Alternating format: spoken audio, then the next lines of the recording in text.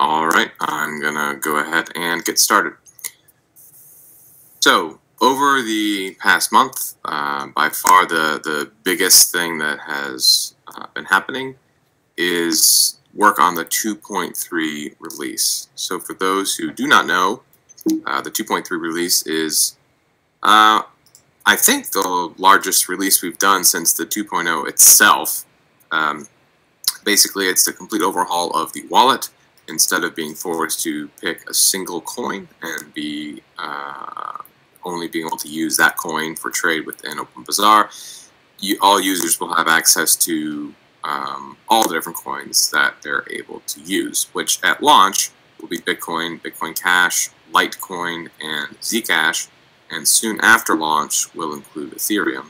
And it will also allow us to more easily add other coins down the road. So we now are at the point where we are doing release testing. We are on the, I think currently the seventh release candidate. Um, I'm not going to go through all of the work that was done to get to that point uh, over the past month. The commits and the issues uh, have been, you know, fast and furious. If you're interested to check those out, uh, I welcome you to look at our GitHub um, or join the Slack and ask around. There are two GitHub accounts where most of the work is being done. Um, this is on the OpenBazaar, so github.com slash OpenBazaar. Uh, there's OpenBazaar-desktop, which is the graphical interface, the desktop client, and there's OpenBazaar-go, which is the server, the backend. if you have any specific questions about those, please join the Slack, and um, you can find someone there to ask. So now that we are on our seventh release candidate, um, we are, of course, welcoming external testing. Um, based on the nature of the changes, um, the main focus that we want, you know, would ask people to look at is testing of the wallet. But because it's a huge architectural change, it touches all kinds of different aspects of the application. So, you know, really we want people to test it and use it, uh, you know, as they would normally as much as possible. There are a few areas um, that we have noticed some issues uh, recently that we're trying to pin down ourselves, and if anyone wants to help check those out, um, you know, please let us know. One is in transactions, orders being placed, um, particularly how long they take to be placed, and uh, do they do they get stuck? Um, another is the same for shutting down. How long does that take, and does it get stuck as well? So, uh, anyone from the OB1 team, is there anything I have missed in terms of release testing that we want to ask from anyone listening? Sure, Sam. This is Mike. Um, I figured maybe just talking out a few of the aspects of the application which were touched to kind of make people aware. Uh, very briefly, I can say that the search engine has some additional filters now, which uh, filter on certain coins. We'd be interested in exploring that. Uh, not to mention moderator selection for vendors and listing uh, being accept uh, being able to accept certain currencies. Uh, you can um, control on a list on a per listing level which currencies you're willing to accept for that particular listing. So we'd like to make sure that um, that those selections are working properly in those areas, particularly. Yeah. All right. Thank you, Mike. So uh, apart from the 2.3 specific work on the client and the server, um, there are some other things that have been going on as well. There's been a lot of infrastructure work done to support this change. So the way OpenBazaar currently works is um, SPV wallets. Uh, however, the new change is going to be API-based wallets. Uh, in order to do that, they have to be communicating to a server somewhere that can talk to the blockchain. Um, we had originally looked at using Insight, however, that was not very reliable and it did not support SegWit. And so we settled on Blockbook, which is uh, done by the Trezor uh, group, and that has been working well for us. So we have set up all of the um, all the servers that are needed for the coins at launch, which I already mentioned, and then also been doing work to make sure that there are proper uh, backups systems in place that if any of those servers go down, that they will be able to be uh, brought up quickly, and there should not be much downtime for people on the network. Um, now, we don't like the fact that we are currently um, really the only ones running Blockbook infrastructure that's available to the public for OpenBazaar users. So if there's anyone out there who is listening and is interested in, in running, uh, you know, Blockbook servers for OpenBazaar users, or for anyone, but uh, that would be able to be hit by people using OpenBazaar, please contact us. We would be um, happy to you know, talk to you more about how Blockbook works and what it would take to set up a server or, or multiple servers. Um, the work on Ethereum continues.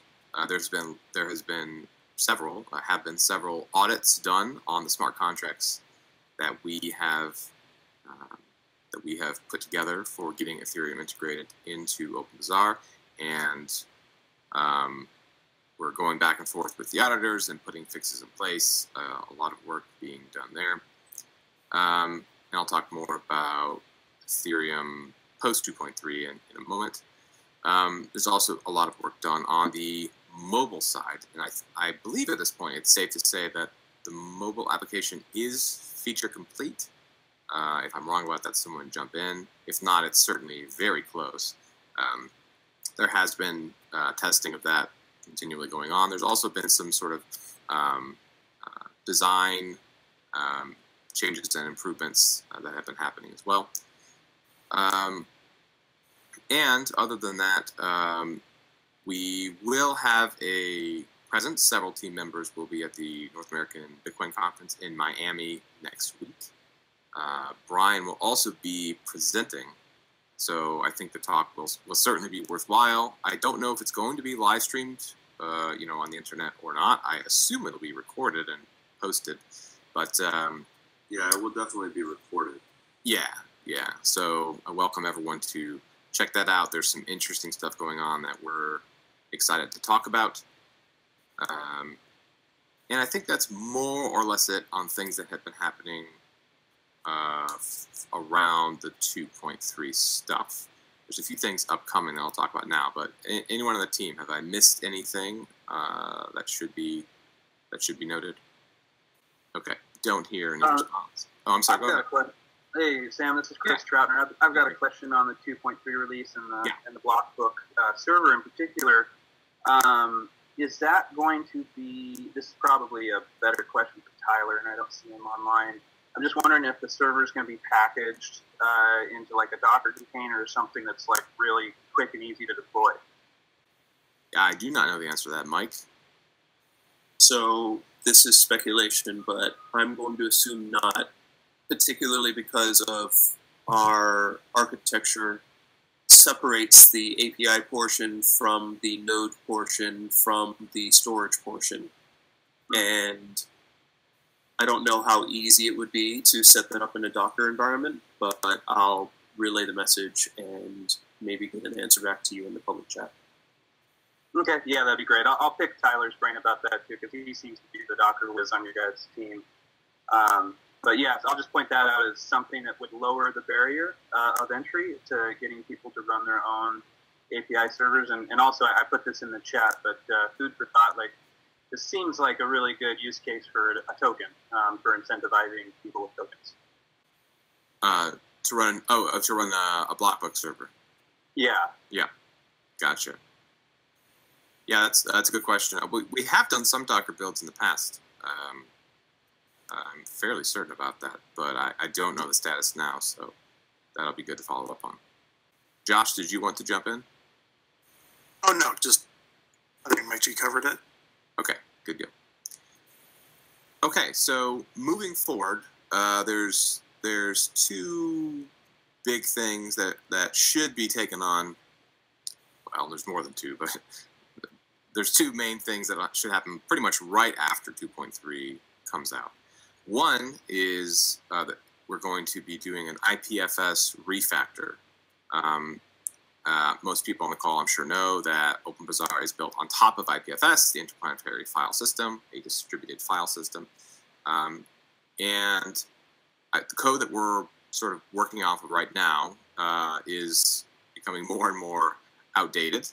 Uh, and so we, we need to get a, a, refactor in place. And since the last time that we have uh, forked off of IPFS's code, they have done some substantial improving uh, improvements to their networking specifically, in, in particular relaying uh, of messages. And so we think that there's going to be substantial benefits to the IPFS refactor, and that will be one of the things we tackle immediately after 2.3 is released.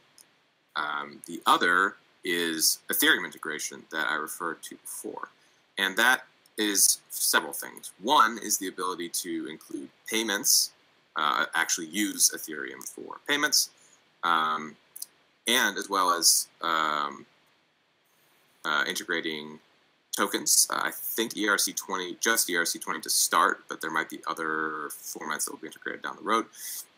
Uh, and then the ability to communicate with and use smart contracts as well. And there are a few different smart contracts that we'll be able to use within OpenBazaar. Uh, some of them are something that are just necessary for using Ethereum for payments, uh, such as, uh, I believe, multisig. Uh, to use Ethereum multisig, it uses smart contract. Um, but there are others as well. And then that should also tie in with the ability to use tokens within Bazaar, um, one of which is the OpenBazaar token, although that, I believe, will not be integrated you know, immediately after 2.3. That's still a bit further down the road.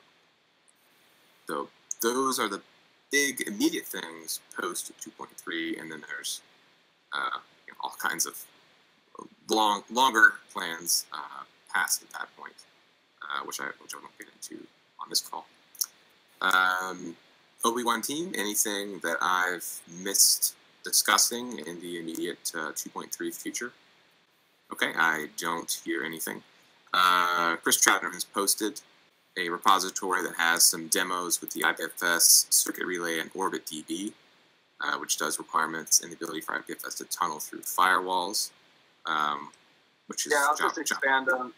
I'll just expand on that. Um, I, I, think Brian's already, uh, from what I've uh, I've been trying to keep up on the repo changes. It sounds it seems like Brian's already done a lot of work with the IPFS refactor, but if this is interest of interest to you guys, I got started with OrbitDB when uh, Dr. Washington reached out to me um, in regards to building a prototype for an order book, and uh, that's how I got started in OrbitDB. And for those who aren't familiar, OrbitDB is a peer-to-peer database that rides on top of IPFS, and um, it's very robust and really impressive and easy to adapt.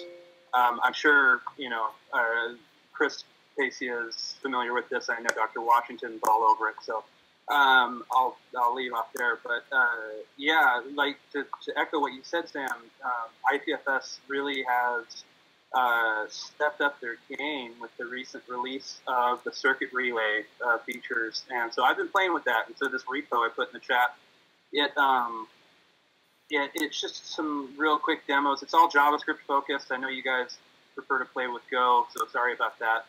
Um, but but uh, yeah, it's pretty impressive. There's one demo in there where uh, it sets up a non-firewall server on like a DigitalOcean droplet, and then there's other nodes you can open like you know web browser. Um, so like a web browser doesn't even have its own IP address. Plus, it's almost always behind a firewall, and it still demos how they're able to connect and uh, write to the database and um, persist the database across all the nodes. It's very impressive work uh, by the IPFS team. That's just the demo. Yeah, thanks for sharing that, Chris. Um, yeah, I mean, we have been Go focused on the server side, but something that I haven't mentioned is that we are also um, doing work to try to get OpenBazaar, you know, usable in a browser. Um, we have the read-only website right now, the openbazaar.com, which lets you look into the network through a web page, but we are trying to transition that to a buyer-only site where you're able to purchase things uh, through OpenBazaar on the web. And I mean, the long-term goal is to be able to just run a node entirely in the web as well. So uh, it's good to see uh, OrbitDB put to the test. Uh, with JavaScript. And as you said, I know Washington's like really into that, so I'm sure it's something that um, you know we, we are aware of. But it's good for, for everyone to be aware of it. And I don't know if, if that will play a role in uh, the web browser stuff or not moving forward. I don't I don't think all those architecture decisions have been made yet. All right, so I think that's everyone. Uh, everything from the OpenBazaar side. Um, anyone outside have any updates or any questions for us before we uh, finish this meeting?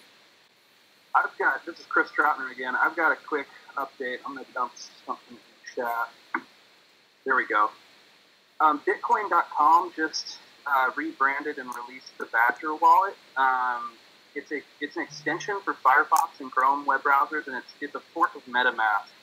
So anybody who's done any significant work in the Ethereum world is going to be familiar with MetaMask.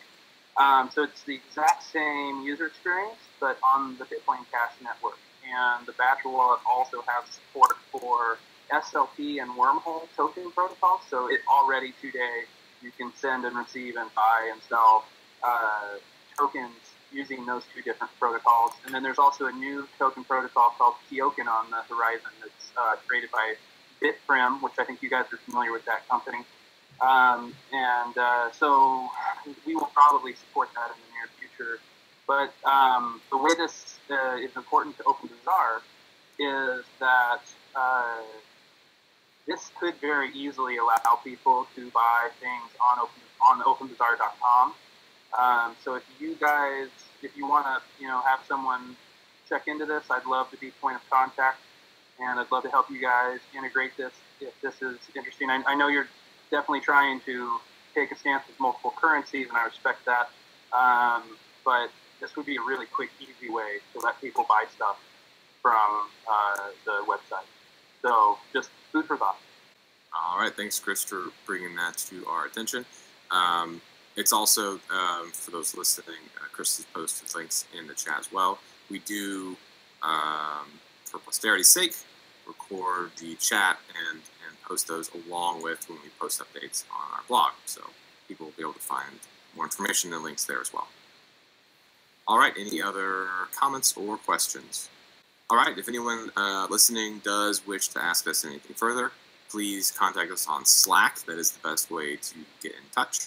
And one more call for release testing. Uh, you know, this is a big release. You can tell since we're on the seventh release candidate. There's all kinds of things that still need to be worked out, but we uh, appreciate anyone who is willing to help us test. So, thanks everyone for listening, and we will uh, see you all on the next update.